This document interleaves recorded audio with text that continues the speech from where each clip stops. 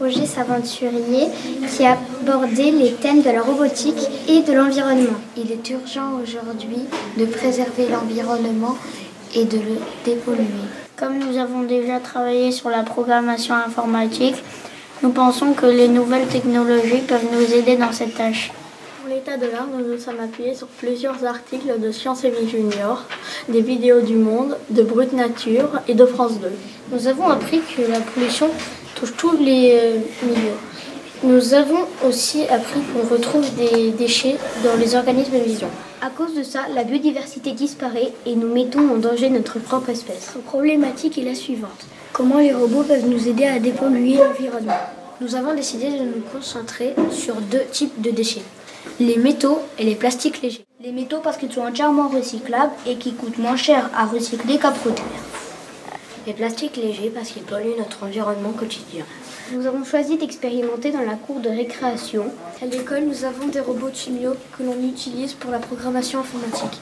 Pour cela, nous nous sommes servis d'aimants, de Lego, de baguettes de bois, d'ordinateurs HS, sans oublier les piles. Avec tout ça, nous avons fabriqué deux prototypes. Un pour ramasser les métaux et un autre pour ramasser les plastiques légers. Notre premier prototype était avec filet, pour que celui-ci puisse collecter les déchets plastiques légers. Nous nous sommes rendus compte que le filet ramassait tout et n'importe quoi. Feuilles, cailloux, brindilles. Ce jour-là, il y avait du vent. Nous avons remarqué que le vent poussait les déchets plastiques légers. Alors l'idée d'utiliser un ventilateur nous est venue. Au départ, nous avons posé le ventilateur droit sur le timio. Nous nous sommes rendus compte que cela ne poussait pas les déchets plastiques légers. Nous nous sommes rendus compte que le timio basculait en avant, alors nous avons mis du poids à l'arrière. Après plusieurs tests dans la classe et en conditions réelles, nous nous sommes rendus compte que le ventilateur collectait bien les déchets plastiques légers. La fabrication de notre robot a connu deux étapes.